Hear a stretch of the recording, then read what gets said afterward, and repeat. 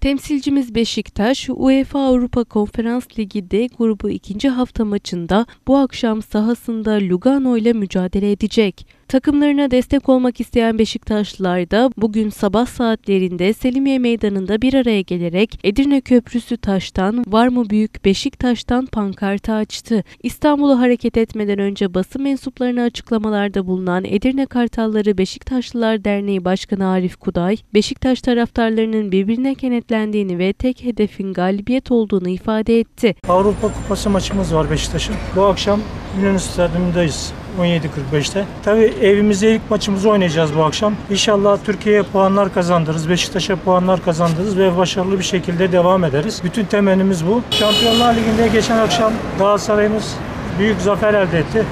Kendilerini kutluyoruz. Türkiye'ye puan kazandırmıştır.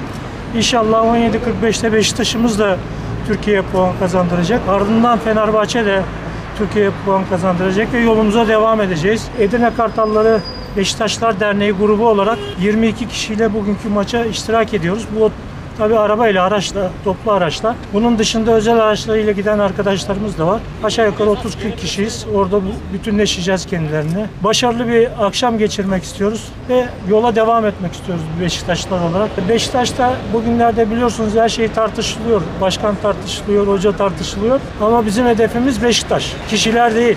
Kişiler gelip geçicidir. Beşiktaş'ımız başarılı olsun. Kongre tarihi geldiğinde her şey sandıkta belli olacaktır. Protesto beklemiyoruz. Yani e, gerçekten Beşiktaş taraftarı birbirine kenetlendi. Bu maçta başarılı olmak için elinden geleni yapacak. Bu maçta yaşanmaz ama e, kötü sonuç alınırsa tabii ki lig maçlarında protestolar devam eder. Bu Avrupa Kupası maçımız. Çünkü daha önümüzde maçlar var. Başarılı olmak istiyoruz. Hatta hatta Türkiye'de oynanacak inşallah finale kadar iki Türk takımı kalmasını temenni ediyoruz. Söyleyeceklerimiz bu. Tabii Beşiktaş sezon başından beri sezon gerisinden beri 22 maç yenilmemişti, 23 maç yenilmemişti. Herkes övgüyle bahsediyordu ama Trabzon deplasmanı, Adana Demir, Demirspor deplasmanı biraz şey kötü sonuç aldık. İnşallah onları da düzelteceğiz.